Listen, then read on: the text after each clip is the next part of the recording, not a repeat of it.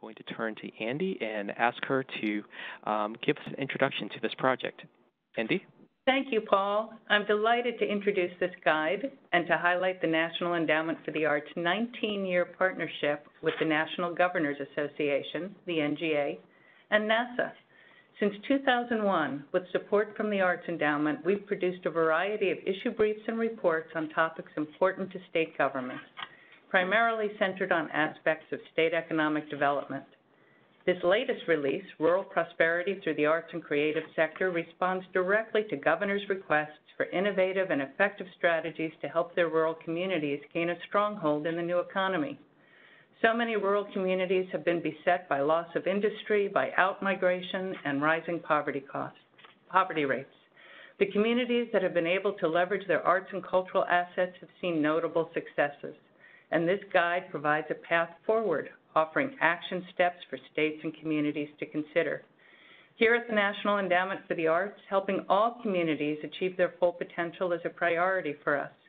We provide broad access to funding opportunities through our direct grant categories, and this is particularly important for organizations in rural communities that might lack local public or private funders. Through our ongoing partnerships with the nation's state and local arts agencies and regional arts organizations, we're able to reach even more deeply into smaller and rural communities for maximum impact. And then in addition, we have several specialized programs that focus on rural communities. I'll highlight three for you. Our Citizens Institute on Rural Design brings together rural community leaders in multi-day workshops to address design issues important to them.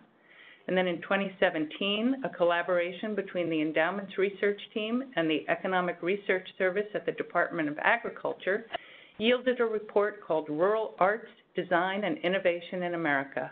It looks at the relationships among arts organizations, design integrated firms, and businesses and business innovators in rural settings.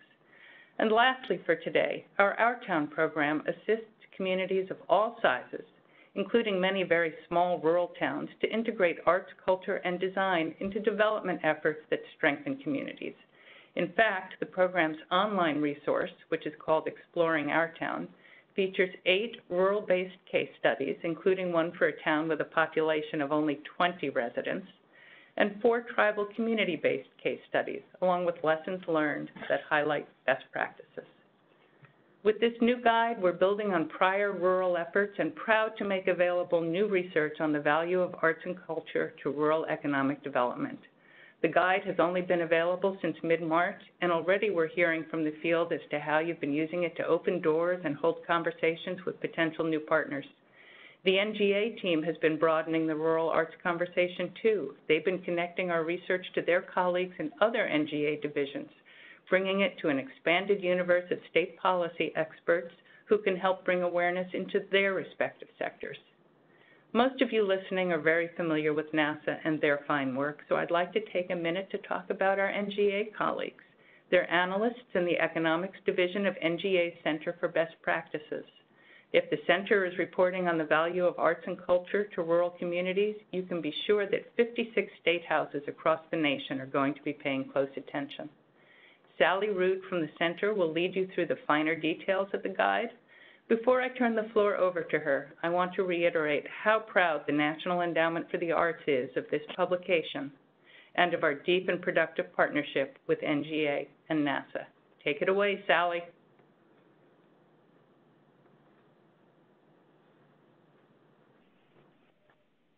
I'm really delighted to be on this call with you. As Andy mentioned, I'm Sally Rood from the National Governors Association. So you all are all the experts, and why am I on this call? Next slide, please. To partially answer that question, I'll start by telling you a little bit about my organization. The National Governors Association has been around for more than a century this photo is of the first National Governors Conference, which is what NGA was called until several decades ago. Teddy Roosevelt, who had been a governor himself, first brought together the governors of the 39 states at that time, 1908. In my role at NGA, I staff the governor's economic policy advisors and governor-appointed heads of commerce organizations and heads of state economic and community development agencies, sometimes called EDOs. Next slide, please. And I'm in the NGA Solutions organization uh, part of the house. And this is the old NGA Center for Best Practices. We just rebranded this past week, Andy.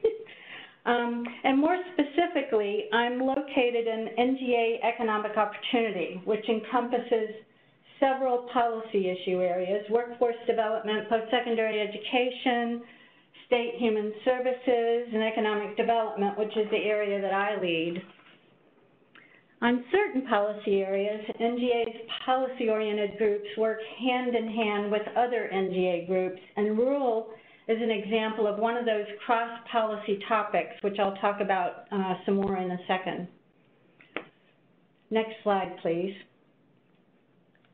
To continue with some additional background for the webinar, we have 22 new governors setting up their new state administrations this year and there's lots going on at NGA around that.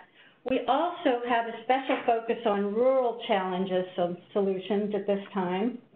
And uh, several examples are shown on this slide. Um, for NGA Health, for example, access to treatment in rural areas has been one of nine focus areas for governors as they address the addiction crisis in rural areas.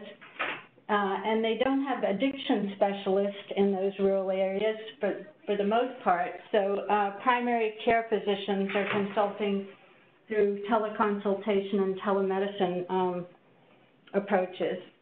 And the NGA Environment, Energy, and Transportation team, a current project on electric vehicles, has a special focus on rural issues and equity because rural citizens can't access charging stations without broadband, and 5G.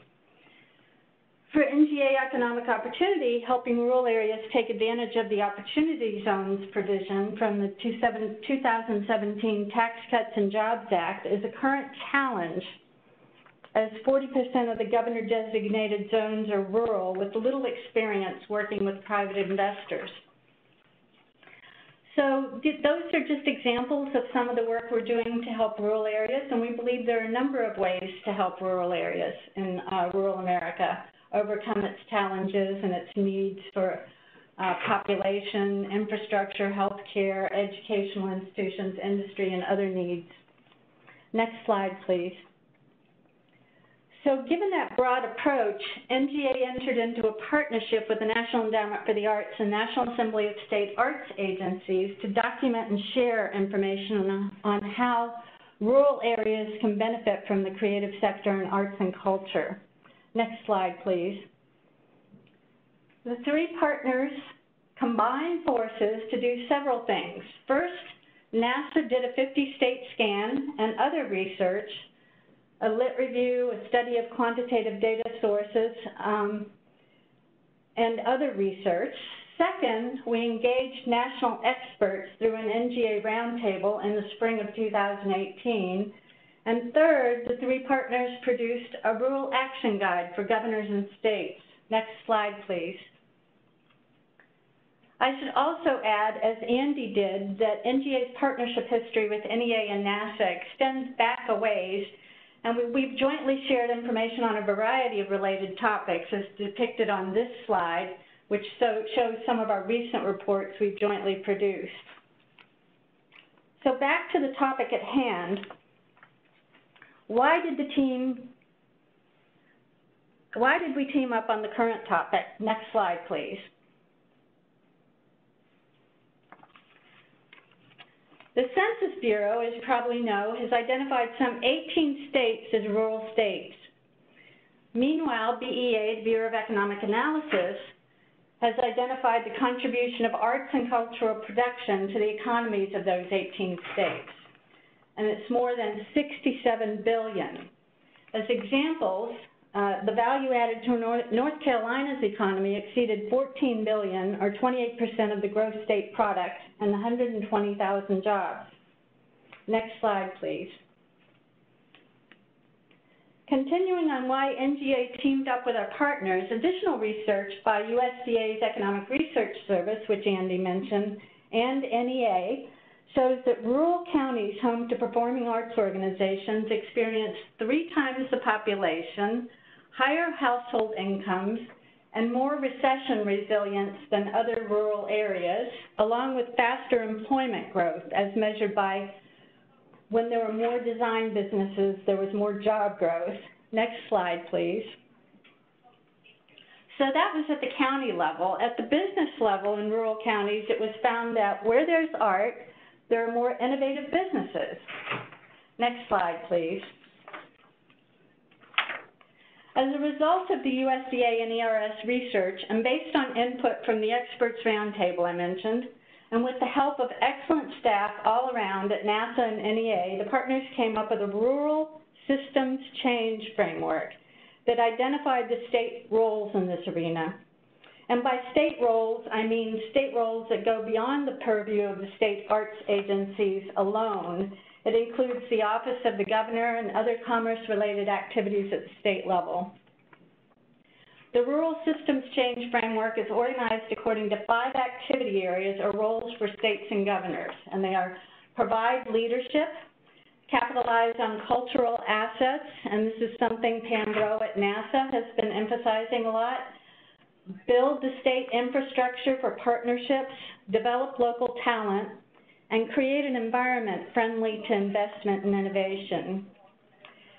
Given that I would rather hear from the audience on this call on their input and questions on each of these areas, I'm not going to dwell on the specifics of each of the ingredients of the systems change framework, but I'll just mention an element in each area. Next slide, please. For the first area, providing leadership, it's important for governors to use their bully pulpit to communicate about economic impact of the creative sector and arts. Next slide, please. Second, as we all know, it's important to reinforce that we need to identify creative assets that we're basing our strategies on. Next slide, please. Third, we need to build the state infrastructure for partnerships. And this is perhaps the most crucial step at this point in time. It's important to share the message about the importance of integrating the creative sectors with other state policy goals, including economic development, entrepreneurship development, housing and community development, transportation, and many other policy areas. Next slide, please. Fourth, we need to develop local talent and human capital with creative skills. This includes supporting arts-based entrepreneurs and again, there are many more details about these, uh, each of these um, action areas in the report itself. Next slide, please. And lastly, we need to create an environment friendly to investment and innovation. And here there are a variety of recommendations. Next slide, please. In summary, the Rural Action Guide reinforces the principles of investing in this area. As NASAA has already documented um, over time, principles such as applying cross-sector problem solving to multifaceted rural challenges. I don't think I need to highlight the process steps for this experienced audience. Next slide, please. And if this were a different audience, I'd also highlight some data to drive home the point of how impactful arts and cultural initiatives can be for states. State cultural districts are impactful. Creative placemaking and housing initiatives are impactful. And next slide, please. Cultural heritage and art trails are impactful, and entrepreneurship initiatives, an area which is dear, near and dear to my heart, are impactful. There are actually about 100 examples in the action guide uh, itself. Next slide, please. So if you haven't already, please access NGA's report at nga.org rural arts. It provides access not only to the report itself, but also to state-by-state -state arts and culture data, state videos, and additional resources such as blogs, research, and grants assistance. Next slide, please. Please feel free to contact me at NGA. My contact information is listed on this slide. And I would just, in closing, I'd like to mention that NGA thanks profusely NEA and NASAA again for the opportunity to partner with them on this critically important uh, rural policy area. Thank you very much. Great. Thank you, Sally. And thank you, Andy, for introducing the report. Um, really interesting stuff. And, and I'd like now to talk about the implications of, of everything uh, the two of you just presented. Um, so I want to reintroduce Bob Reeder, Program Director at Rural LISC, Cecily Engelhart, Communications Manager at First Peoples Fund, and Margaret Hunt, Executive Director of Colorado Creative Industries.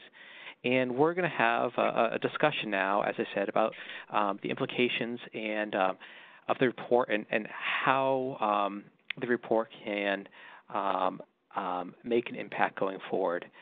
So I'm going to start off by um, asking a question to uh, Margaret, Bob, and Cecily about their relationship to the Action Guide for Governors and States. Um, could each of you talk a little about the need for rural development you've seen from your perspective, from your organization, and what your organization has been doing to serve rural communities through the arts? Margaret, could you begin by telling us your perspective um, as the director of a state arts agency? Yes, so thank you, um, Paul. Um, we are our agency is housed within the Office of Economic Development and International Trade. So I, I, want to be clear about that because I know that's not the case in many states, although it is in a few. Um, so we work very closely with um, uh, with our various sister agencies within our department, which include uh, the Office of Tourism, Global Business Development, uh, Outdoor Recreation, uh, and a very newly appointed uh, position of Rural Prosperity Director to advance um, the arts throughout Colorado. And a recent emphasis of our newly elected governor is a focus on rural communities. So I would say um, having a seat at the table is um, the most important thing. And sometimes you have to be a little bit pushy to get that seat at the table. Um, but we need to push. Great, great. Thank you for that. Bob, could you tell us your perspective? Sure. Uh, good afternoon, everybody. So, so what I would say, sort of to keep it succinct early, is that uh, last week uh, Paul and I were on a panel with um, uh, Jamie Bennett of ArtPlace America, and he introduced a term that I hadn't uh, crystallized in my head, but now I'm going to steal it. It's called case making, the case for what we do. And I feel that this report uh, is just instrument going to be instrumental in helping folks make the case. Now, what we do, what I do nationally, is we approach community building and and our interaction with our community partners in rural America from a point of view of providing tools and access to those things that are going to help them uh, do what they do, what they have identified in their communities that need to be done, and have them do it better. And, and of our cohorts that do embrace the arts and culture or and cultural assets as a way of improving their communities, again, this report is going to be a tremendous, tremendous asset. Great, thank you, Bob. And in case making, that was a, a great term last week. thank you for bringing that up again. and finally, uh, Cecily, could you uh, share uh, uh, share with us a little bit about what you're seeing from your agency? Yeah, of course. Um, Thank you everyone for being here today. And I mean, I'd really like to reiterate what Bob just said about case making. I think that's super important. Um, and something that we've seen is the need to kind of produce some of our own data. Um, because a lot of the data that we see in this report um, is, extremely useful. And some of it connects back to this um, framework of assets, you know, asset building in communities, that particular approach. And so for us, especially, you know, being a native focused organization, we're often very much viewed by a, a deficits-based kind of lens. So being able to, to talk about the arts as being such a powerful source of assets for, for our communities Um, you know, the, the research that we produce in partnership with others has shown that um, uh, about 50% of people um, make income off of a home-based business. And of that 51%, um, it's 79% of those are traditional art forms. So I mean that's nearly nearly a 40% amount of, of folks who are making income off of um, off of arts or identify as artists. And so when you think about that as as an asset and, and looking at this as an asset based approach and the case making aspect of everything, um, I feel like this really helps support that and really helps recognize the importance of looking at the unique um, elements in every community. So um, I feel like that's that's a really excellent perspective to pull from this and the number of resources here that help support that that perspective. Great, thank you, Cecily. And and the number you just threw out there a moment ago, I think that was pretty important. Would you mind reiterating that? Absolutely. So that that's actually from um, a report we did called "Building the Creative Economy," um, and that was focusing kind of on Native artists as um, economic engines. And so what we found was that when we looked at how many people were making income off of home-based businesses, it was about 51% of people. So, you know, we have this idea of um, unemployment rates, but that's really looking at traditional or, or I guess formal employment. So you have 51% of people not not being counted as as employed in formal employment, but they are making income off of a home-based business. And then you have 79% of those people making income off of traditional art forms. So that's everything from um, quilt work to um, you know regalia making to quilting to all of these different forms of artwork that are really prominent in, in Native communities. And so that really shows an opportunity for um, supporting a very large portion of the population uh, uh economically, but also culturally. Great, thank you. Thank you for talking a little more about that. And I just want to mention that the literature review that NASAA did in support of the Rural Action Guide does uh, summarize the report that Cecily was mentioning. So if you go to NASAA's homepage, from there you can link to our Rural Prosperity page, and on that page you can connect to the National Governors Association Rural Action Guide, Governor's Guide, um, as well as to our field scan and um, um, literature review and a paper summarizing nationally available quantitative uh, data sources. So those are all um, resources that you may find helpful. So thank you. Um, I'd like to come back now to Margaret and um, to talk about the policy implications of the report, uh, particularly policies that are realized through partnerships, interagency partnerships. And I was wondering if you could talk about how Colorado Creative Industries has been working with other state agencies, and I'm specifically thinking about your Space to Create Colorado program. Could you tell us a little about that and how it came about? Sure. So, um, our Space to Create program, which is designed specifically for rural communities, is to advance permanently, uh, permanently affordable live workspace for creative sector workers. And this really came about through the leadership of one of our foundations, the Boettcher Foundation here in Denver. Uh, the Boettcher Foundation had been had been funding our Creative District program, and when we took data to them uh, and showed that um, when creative districts were successful, gentrification was starting to occur, even in rural communities, and our creative sector workers and artists um, we're finding it difficult to find affordable space, both housing and workspace. So it was really the leadership of a private foundation um, uh, that that brought us to the table and said, "Let's address this issue." And they got behind it um, very strongly financially and um, and through uh, through leadership. So they brought together a number of state agencies to collaborate on this project.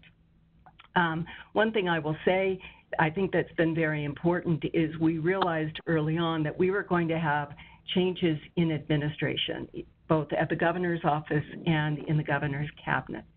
So we developed a memorandum of understanding uh, between our state agencies on this collaboration and had them sign it so that we could um, continue to advance the initiative and really institute in state government.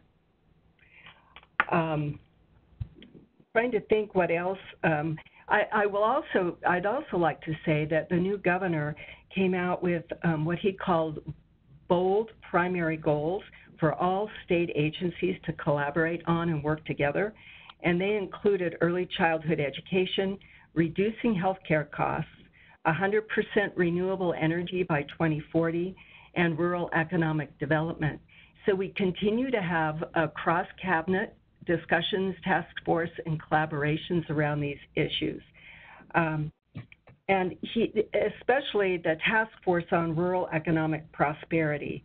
Um, it includes uh, the Department of Local Affairs, the Office of Economic Development, Colorado Creative Industries, the Main Street Program, the Department of Transportation, Tourism, Department of Agriculture, and the uh, Energy Office. Great, thank you, Margaret. That's that's wonderful to hear that there are so many uh, government leaders um, committed to this work, as well as um, private foundations. Um, that, that's really something. And, and finally, uh, Cecily, I'd like to um, talk about your perspective um, um, of supporting tribal communities. Um, I know you're doing a number of projects that are really innovative, um, and I'd like to hear a little more about um, some of the programs that First Peoples Fund has been doing, uh, in particular Rolling Rez, which is a fascinating effort. Could you tell us a little more about that? Yeah, so um, I just want to give a real brief kind of overview of what our organization does kind of as a whole. Um, we're based out of South Dakota at a Rapid City, South Dakota. We're um, a Native women led nonprofit organization that's been around for um, about 25 years. And um, we're primarily serving rural communities. And, um, you know, we, we serve communities from Maine to Maui, as we say. So we're, we're working um, to provide things like professional development training, technical assistance, um, grants, different things like that all across the nation. But um, a large portion of our work is, is based in Western South Dakota. So, of the things that we do in Western South Dakota, um, we have some pilot projects that are really focused on kind of testing out um, you know, testing out the waters of what's potential, uh, what you know, what is potentially viable for a community. Um, when you look at their specific assets and their specific challenges, um, and then additionally how you how you can partner with others to address those concerns in, in kind of a systemic and comprehensive way. So the Rolling Rez Arts Bus that's pictured here, um, this is a project that has been kind of years in the making. It's in its fourth year now. This will be its fourth summer um, kind of on the road. And, you know, it's taken a number of partnerships to, to bring this into fruition. We have a partnership with ArtSpace, um, additionally, a partnership with Lakota Funds, which is the first uh, native CDFI, um, and then also with uh, the Lakota Credit Union. And so this space is not only serving as a mobile arts classroom where we teach um, a wide variety of arts classes ranging from, you know, quill making to um, filmmaking to to um, moccasin sewing to you know you name it, board making. Um, it also serves as a place for us to do professional development trainings, um, to to partner with Lakota Funds and the the Lakota Federal Credit Union to provide banking services, so it's a mobile bank. Um, and then additionally, um, it does a number of other things like a film camp in the summer. Um, and because because of the challenges of rurality, um, especially in Native communities where there has been, you know, historic policy that has led to us really often not having basic infrastructure, um, this is a way to address those challenges of being, uh, you know, usually either underbanked or not banked at all communities. We're, we're addressing that by being able to provide um, banking services, but also, you know, the challenge of transportation, where we're creating an opportunity for people to not have to leave their community to drive an hour to access a bigger to access a class. Um, and then the last kind of piece that I think is really astounding about um, the Rolling Rez Arts Bus is we have a partnership with a local gift shop um, on the reservation, and they actually do wholesale purchasing from artists, which is huge because otherwise artists are having to drive long distance to pay that gas for the potential of maybe selling, you know, at one location. And if they don't, then they have to drive somewhere else to potentially sell one piece, right? With a wholesale purchaser, they can you know, stay in their community, create a lot of product, bring it, and then have all of their jewelry or multiple quilts or whatever it might be that they're looking to sell purchased in one fell swoop. Um, and that's just one day a month, and that usually puts about $3,000 a month into the community. So, um, you know, this to me is just a really, really creative example of looking at assets and challenges, partnering with other institutions to kind of come up with a creative solution, um, and one that's really rooted in what community is already invested in um, and, and really needs. Is there anything else you'd like me to, to say on that? Oh, thank you, Cecily. I'm sorry I had muted myself for a second. Uh, that was wonderful. Thank you for all of that. Um, Bob, um, I'd like to turn now to you and to talk about your multiple hats uh, working for Rural LISC and also your work um, at the local level throughout South Carolina.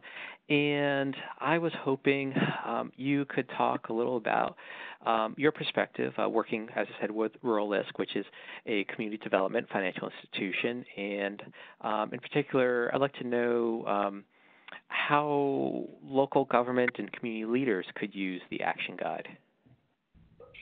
Okay, so I'll, I'll start with the uh, former uh, uh, first, and that is, uh, as you pointed out, uh, LISC uh, is a CDFI. Rural LISC is a program of of LISC, and LISC has been around for. Actually, we just celebrated our 40th uh, uh, anniversary uh, celebration a couple of nights ago. Uh, but uh, the rural program, which I'm a part, has been around since 1995. And what we do is, as LISC stands for, for those in the audience who, who, may not be aware of us, uh, it's, it's, an acronym for Local Initiative Support Corporation which means that we are a corporation that supports local initiatives. So we don't helicopter in with ideas. Our perspective is that rural communities know best what works for their communities. And so our mission is to provide the uh, resources and investments that allow them to do what they do better. And so our approach to uh, culture and uh, cultural based economic development, arts and culture based economic development, was pretty much from a community development perspective, one in which we were trying to uh, come up with just additional arrows in our quiver as to what really works uh, uh, at the local level. And, so what we try to do is, um, uh, again, uh, have local communities, local organizations with which we work. We're in 44 states, almost 2,000 rural counties, and we're trying to um, uh, have them come up with what problems most afflict their communities and how can those problems be addressed. We found from a national perspective that in many rural areas, we all know most of the issues out migration, aging populations, uh, aging infrastructure, you know, uh, extractive economies that are on the decline. You could go on and on and on. But we also found that there was a, a, a real palpable sense that the people who lived there wanted to stay and wanted their children to stay. In order to do that, they had to come up with strategies that had that helped them uh, accomplish that mission. One of which was to sort of address divisions. Many of our, uh, uh, when I grew up, and I did come from South Carolina, grew up here. One of the things we used to have a, a, as a colloquialism was family fights are the deepest. And so, just to expand upon that, so in local communities, risks are really, really personal, and sometimes those rifts get in the way, uh, oftentimes, of, of, of there being community-based progress. Arts and cultural approaching uh, development, economic development, community development from a cultural asset base. Uh, uh, what is our narrative? How can our narrative be positive? That's what we try to do. We've worked with, um, I don't know, about for about three years. We're going into a, a, a fourth year of having a, a, grants program that pretty much um, works from three particular focuses: foster community cultural development, transform physical environments in culturally relevant ways, and to create arts-related economic clusters. And the last one is really important because, after all, as this uh, report points out, we have to be able to make the case that these are uh, activities that um, do uh, economically contribute to the community. Now, local communities. I think that local communities can really use this report in a in, in a number of ways. I'll start with our uh, uh, uh you know our allies. Our allies can, can take it who are, who are already on the ground in town councils and county uh, you know, county councils can say, look, here's the proof that we've been looking for. Uh, the skeptics can really, I think, benefit from having three preeminent national organizations put their um, their, their, footprint on or, or, their namesake on these work. Here is the empirical data that works. Then I think for local people, uh, the citizens of those communities, they too, or we too, can use the report in, in, in both of the above ways. We can say, here, here is ammunition. Here's what we know to be true. Here's what's been found to be true, and we can use that to build partnerships, particularly in, in uh, and we have to work through partnerships, and uh, we'll probably get to that a little bit later. But without the relationships and the partnerships, not any of this would be possible, and this helps um, uh, drive that um, uh, that result. Great, thank you, Bob. The next question I'm going to uh, pose to all of you, um, and, and that's how do you fund this work? There's lots of great examples in the Action Guide for Governors of um, programs leveraging the arts in the creative sector to support rural economic development and rural creative placemaking. Um, and I think many of those examples could be replicated throughout the country. Um, but of course, funding is always one of the biggest sticky wickets. How does that happen? Um, so you've given some examples of, of grants and, and uh, partnerships um, that um, provide funding. Um, but more particularly, I want to talk about um, framing the program when seeking funding. Um, an arts based rural economic project, does that project seek funding from rural focus agencies and foundations, from art focused agencies and foundations, from both? And is there, um, uh, how, how do you present the project? Um, so agencies and foundations from multiple sectors can understand it. So, uh, Margaret, could I turn first to you? Sure. Uh, so we utilize um, a, a, a, combination of sources of funding, including uh, local, state, uh, federal. Um, you know, federal includes, of course, the NEA, USDA, uh, the Economic Development Association, EDA, and and federal housing funds. Um, We've um, we also leverage that with with private sector and philanthropy, including uh, community and family and private foundations. We've um, also established relationships with businesses, um, and we're working with our foundations to, um, with the result of shared investment strategies for rural communities specifically. So I would say my primary responsibility in all of this is is in a leadership role to identify potential partners, bring them to the table, make the case for what we're doing, and um, encourage them to commit their resources to projects. So regarding local sources of funding, um, they're very they're varied and they're based on uh, local community assets, which can include things like um, and this is one that I think many states will begin to look at, uh, sales tax revenue from cannabis, um, lodging tax, uh, business improvement districts, city and county uh, government and line item appropriations, uh, retail and, and uh, chambers of commerce associations, as well as colleges and universities.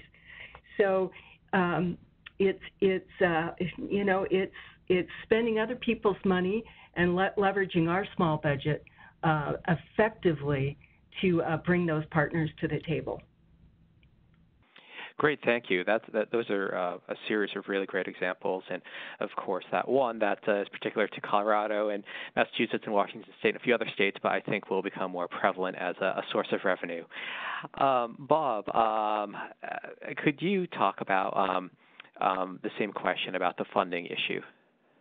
Sure, sure. And Margaret, thank you for those. Those are really great examples. But uh, and some, you know, again, the whole thing about uh, which tables we're around and, and what the receptivity is uh, some, uh, yeah, we got a long way to go in, in, in some parts of, the, of, rural America to get to some of those progressive sorts of uh, examples, but I really found them fascinating.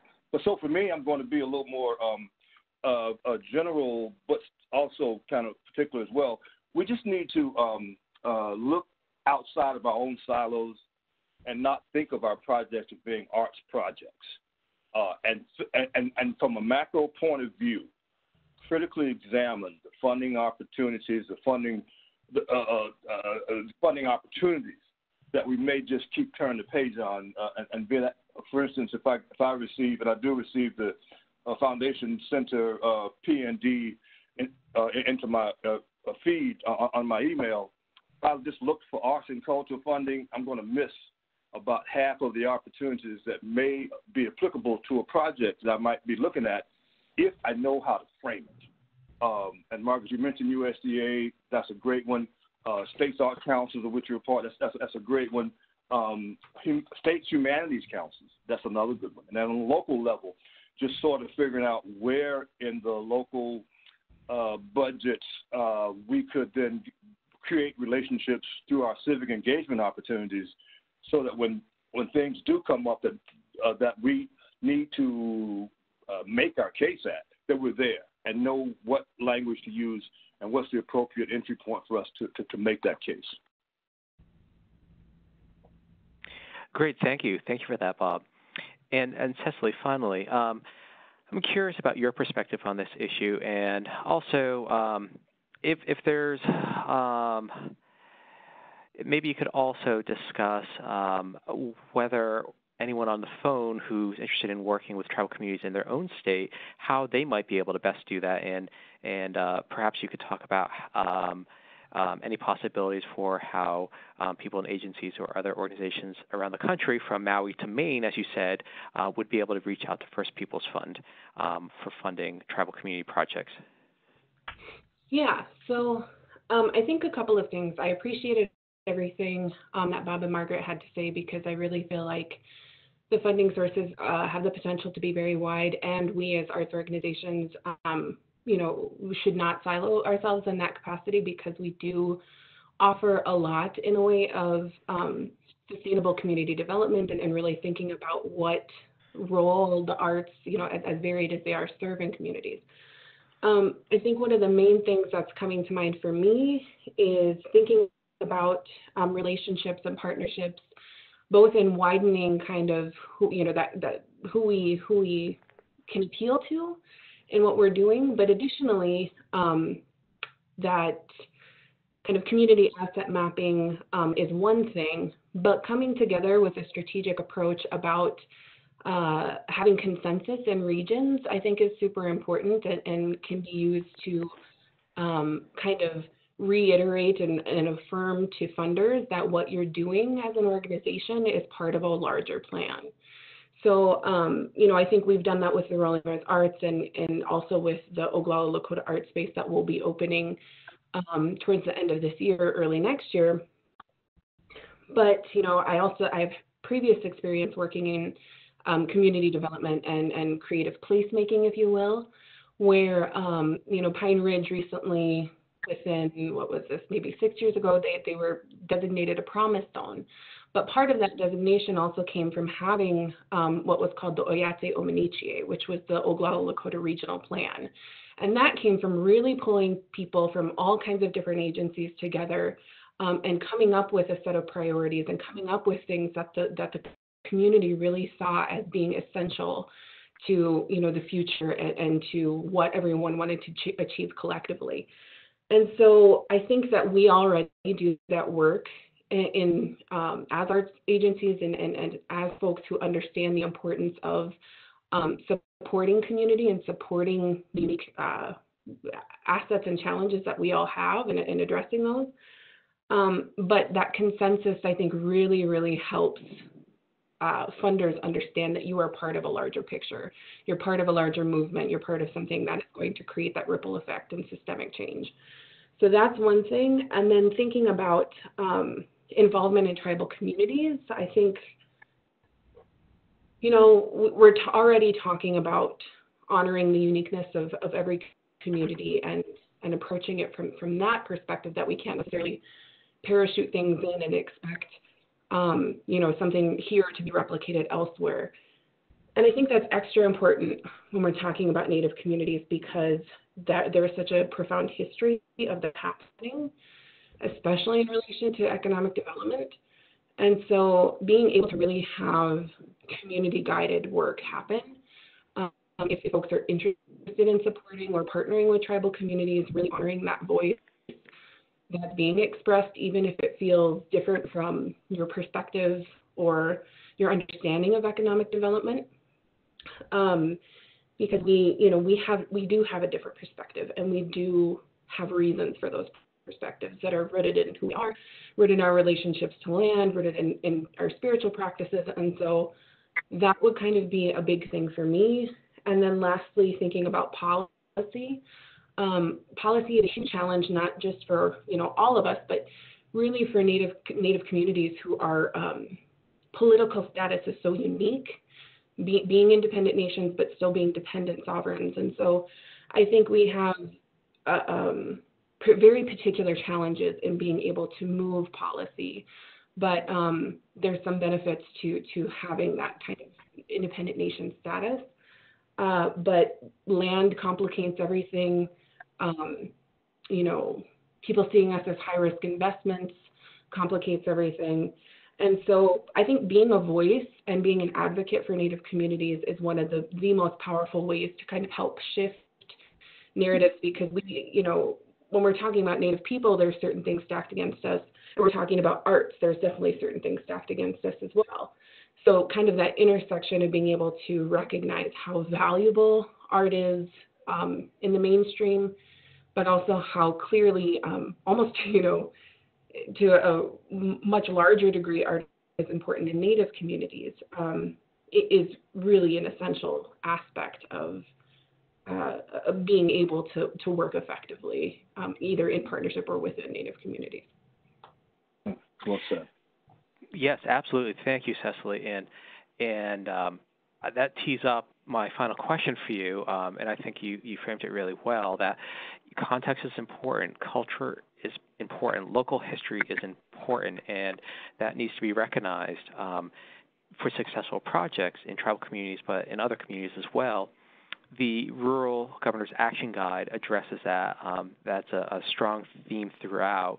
Um, authenticity of community as the driver of a project is really important. You can't just parachute in a model from elsewhere and expect it to work um, without any tweaks, without any consideration of what's happening on the ground. Um, and Bob, you addressed that uh, as well when you were talking about breaking out of silos, um, about finding connections across sectors um, and disciplines. So the final question for all of you is of the many different types of cross-sector collaborations and partnerships um, that can be utilized to support rural economic development, um, what do you see as working best, or what has been um, uh, for you the most surprising? Has it been arts and agriculture, arts and transportation, arts and healthcare? Whatever. Um, Margaret, how about you? What has been surprising or, or, really impressive to you? Well, I think the fact that the governor appointed um, a rural economic prosperity task force of cabinet members and their staffs um, was a surprise.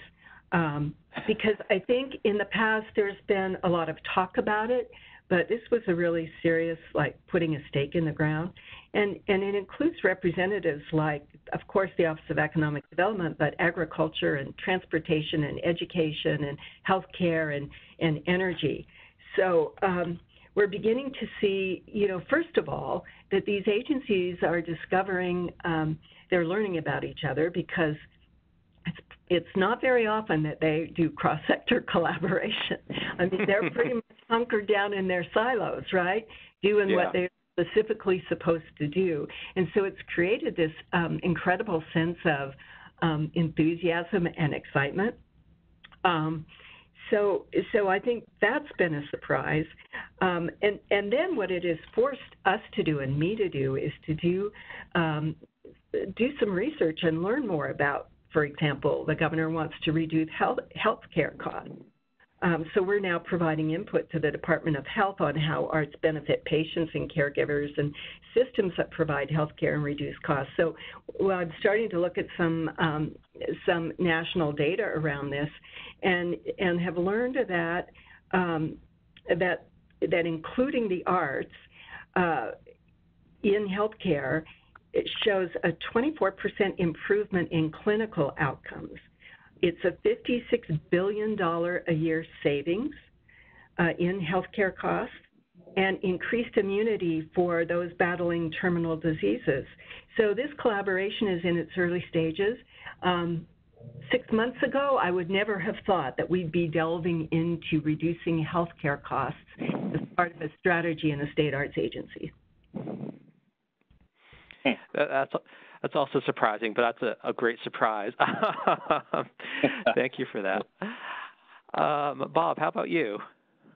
Well, uh, yeah, thank you. But this tees me up to get to the other uh, uh, uh, uh, driving uh, force in my life right now, which is the Art of Community Rural. Uh, in terms of these sort of innovative collaborations, um, it's actually listed in the report um, on, on one of the pages. I will, I think it's page 23, but it talks about how we are investing. I think the, the, the most surprising, and use the word surprising, uh, uh, cross collaboration has been not just with health, and that that's been really surprising. Uh, uh, but we've sort of broadened it from the bottom to invest in local leadership, and so our initiative hits on several of those uh, uh, cross cross connecting sectors. You know, literacy, education, health, blight. Um, you know, removal, small business development, and preservation. Each of those that were uh, arrived at from the local communities themselves, and, and by and large by people who didn't know each other before, and in communities that were polarized. And, and, and since I'm in the South, I'll say here is race, but that's not the case in other parts of the country I've worked in. It can be intergenerational. The millennials moving from the city and moving out to the country and wanting to take the city with them, which not always a bad thing, but the farmers were there too um, you know, and then it could be social and, and social economic, the largest landowner, the largest cattle rancher, and the people who have less. And so, uh, but bringing those kind of folks together in a coordinated effort to say, again, as I mentioned before, this is your community. What might, how can we help you design? We don't have any answers. How can we help you in uh, coming up with and executing a plan for uh, community revitalization and then human connected.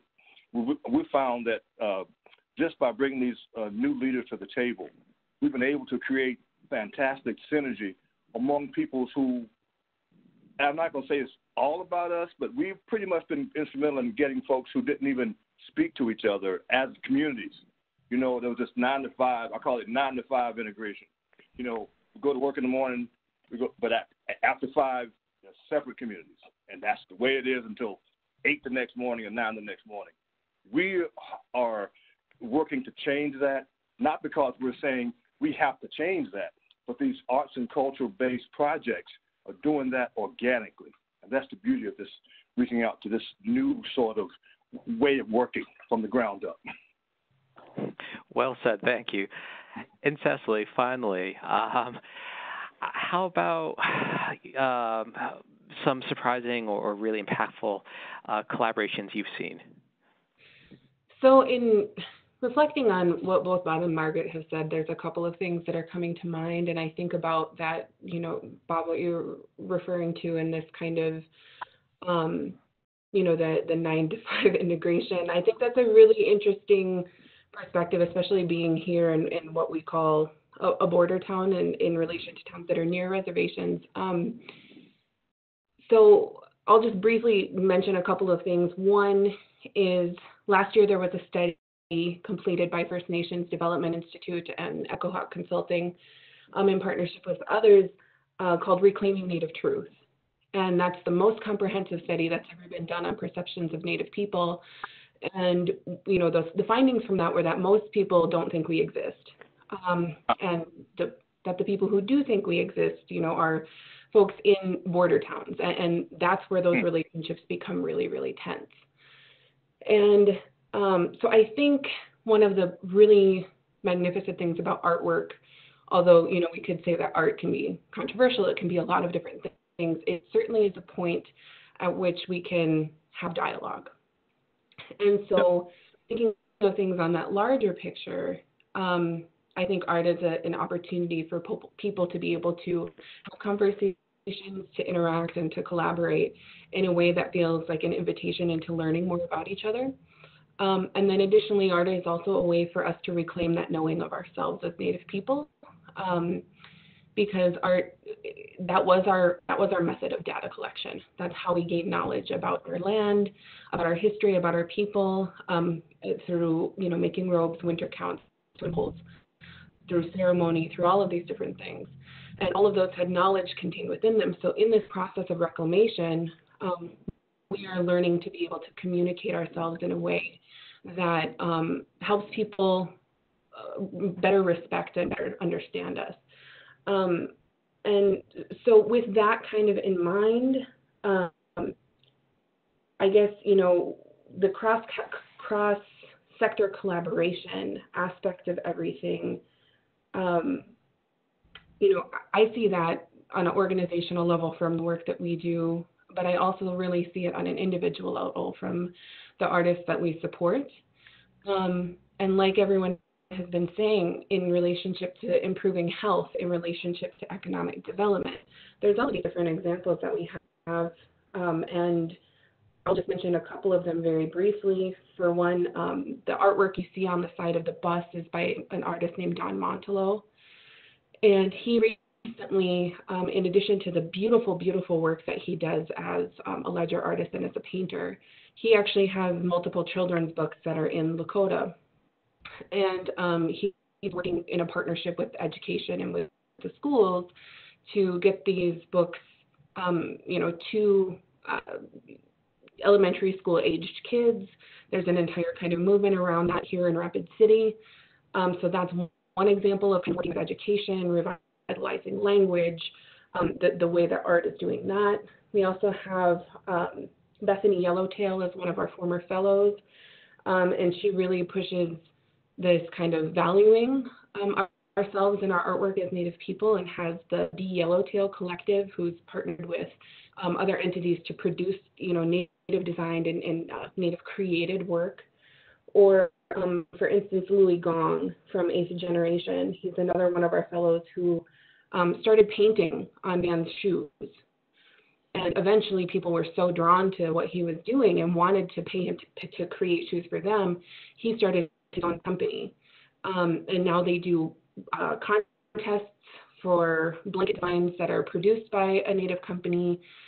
And so you have Native people from all over the country um, really getting involved in something that one person created. And these range all over the place from, you know, education to, to economic development to wherever.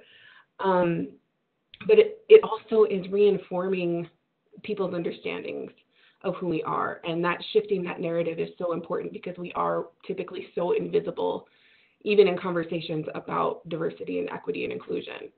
Um, and so to me, that's kind of the surprising aspect of this is um, every single moment that we have an artist informing work and partnerships, it's an opportunity for people to better better understand um, you know the nearly 600 indigenous nations that exist you know in, in the within the United States.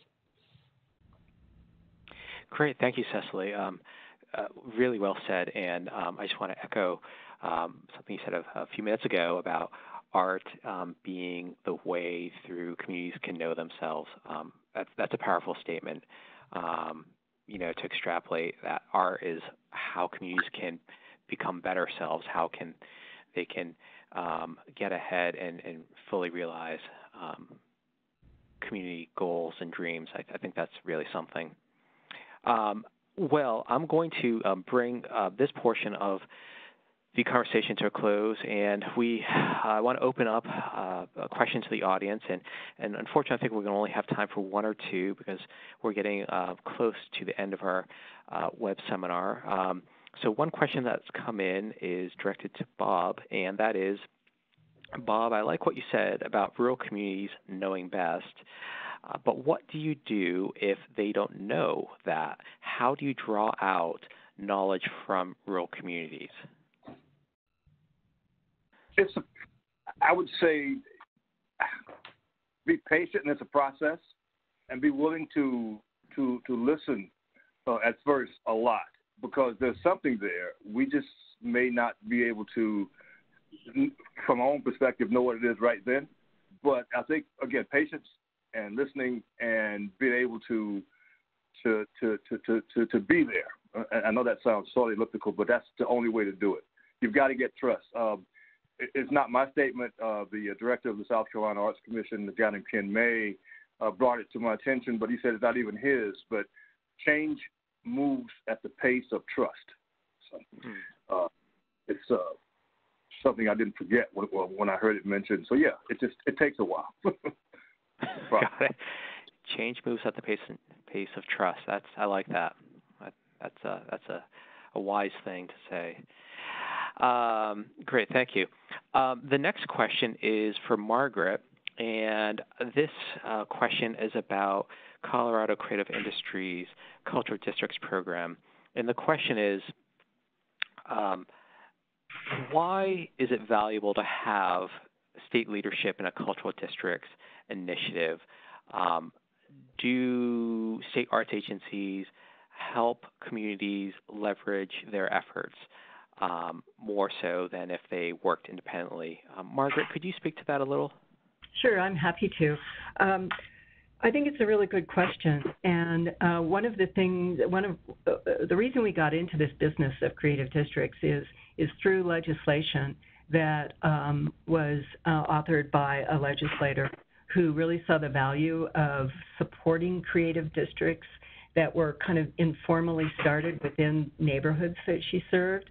And, and the legislation uh, obligated us to certify creative districts, to give them state certification. And so that prompted us to look at what we thought were the, um, the best practices and the highest standards uh, for creative district and to set, uh, set those, institutionalize and, and create those. And so really what, what, it, what it helped to do was provide these districts with a vision for how they could improve and where they could go and what things would be possible.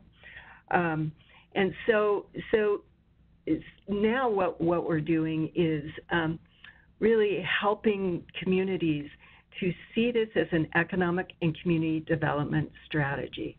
So I'll give you an example of a rural community. Um, Ridgway, Colorado has a population of 900 people.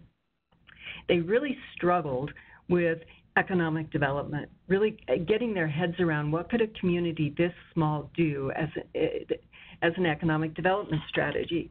And once they started looking at creative district and the certification to be a creative district, it suddenly made sense to them as an economic development strategy.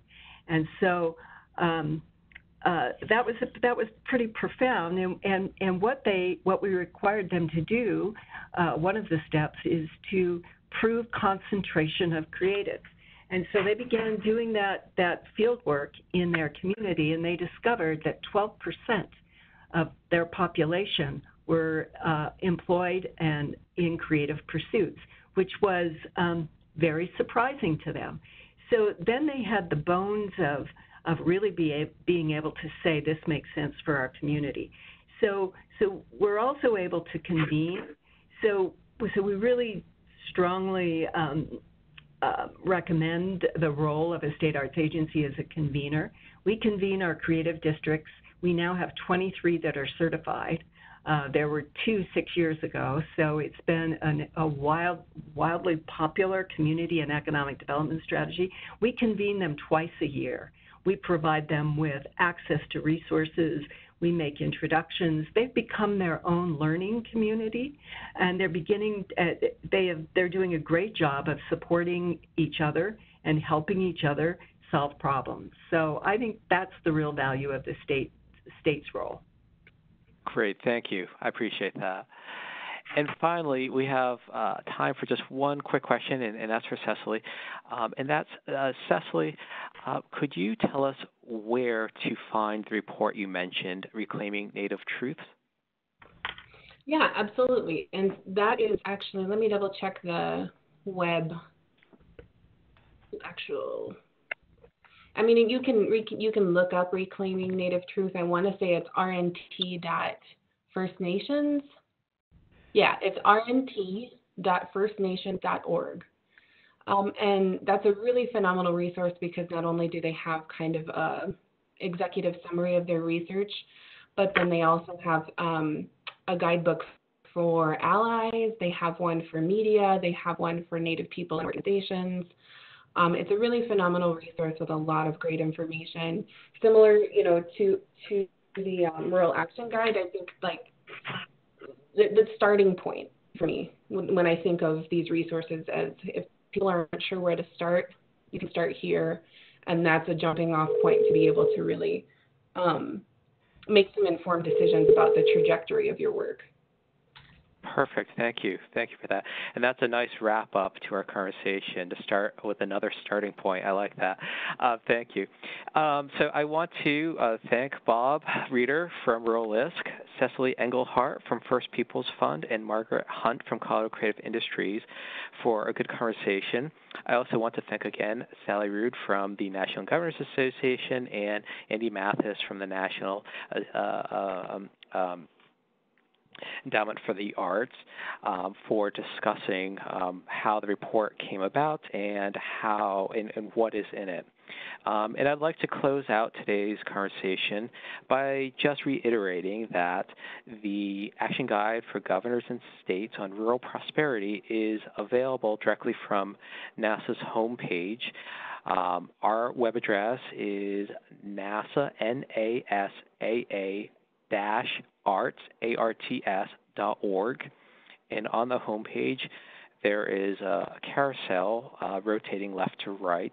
And from there, you can click on our Rural Prosperity page, and the National Governors Association Action Guide is available there, as well as the research that NASAA did to support it, which is a 50-state rural, uh, 50-state scan of uh, rural um, economic development through the arts programs, a related literature review and a collection of quantitative, national level quantitative data sources that can support work in this realm. So, again, thank you all for joining us today, and I wish you a good weekend and good work. Thank you. Take care.